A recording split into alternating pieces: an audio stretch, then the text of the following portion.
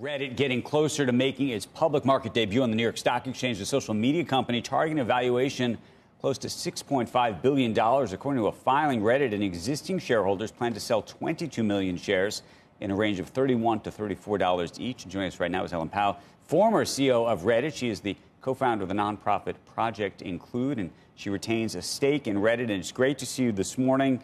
I think we're all trying to understand, Ellen, you know, what, what what this IPO means, how to think about the value of this company. Uh, and you've uh, lived inside it for, uh, for quite some time and watched it for quite some time.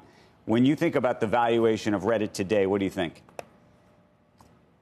I think it's it's hard. Reddit has always been a strange company. It's always been hard to manage. It's been um, hard to understand its users, and it's been a very unique set of users. So they don't like advertising. They don't like um, being told what to do. And in a public company, there's a lot more regulation, there's a lot more control, there's a lot uh, more limitations, and there's a lot more information shared.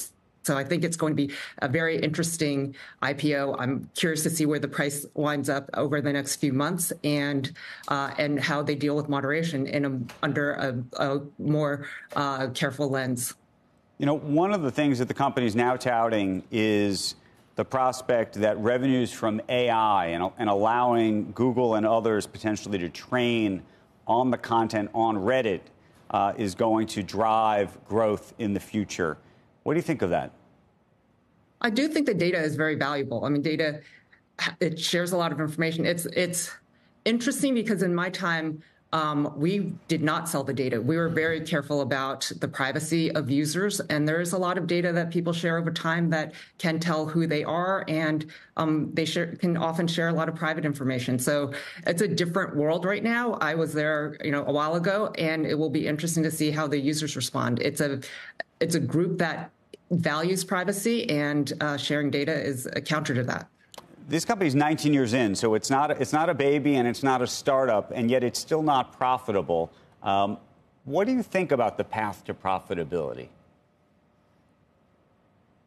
It's a it's it's a it's one that it's it's a, it's a difficult one. It requires selling your users' data. It requires um, limiting the content to uh, content that advertisers are comfortable with. It's kind of counter to the uh, free for all that Reddit has been for so long, and that uh, the users have rebelled against uh, restricting. So I'm. It's going to be a tough path, and I think that having the public market watching everything that you do is also hard. But I also think that there is something core to Reddit that is extremely um, powerful, where people do want to share on Reddit and people do want to see what's going on, and it is a place where you can find un, unfettered viewpoints and uh, and sometimes that's good, sometimes it's bad, but it does drive a lot of engagement.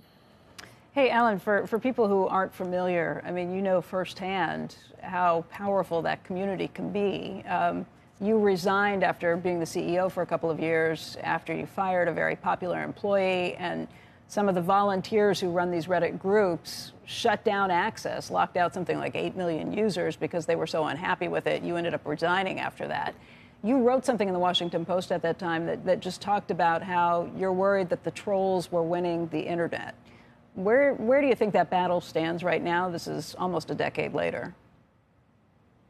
Yeah, I wish people had listened to that op ed piece because I do think it's gotten much worse. I think it's gotten much harder to be on the internet. It's harder to be in social media. It's harder to be um, public. It's uh, an area where there is um, less real information, where there is a lot of disinformation. There's a lot of um, foreign actors who are trying to influence people in the United States and beyond. It's a very um, it's hard. I, you know, it, I think for children to understand like what's actually going on in the internet, and now you've got uh, deep fakes, you've got artificial intelligence driving a lot of content. It's a different world, and I don't think it's for the better.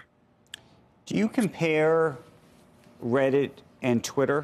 Do you put those in the same category? I, I compare them. They're not the same, obviously, but um, it, it's it's a place where people share information, where they go for information, and where they also try to um, build an online profile. What would you what, what do you think should be the the comp, if you will? Meaning, if you're an investor thinking about this company, What, what are the comparable other companies that you should put it in the same bucket with and then start to look at the multiples, for example, that might have been assigned to those businesses that maybe should be assigned to this one? Obviously, any online advertising company. So if you look at um, the parts of Facebook, uh, the parts of Google that are tied to um, sharing content online, I think Twitter is a good comp. It's hard because it's not public anymore.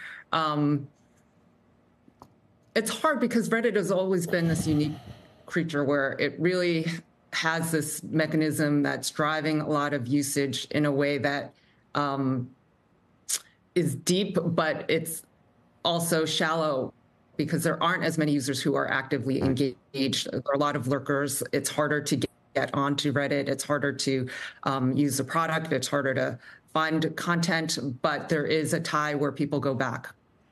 And Ellen, I, we appreciate your perspective on this. Before we let you go, I, I wanted to also get your perspective, if you have one, on what's happening with TikTok.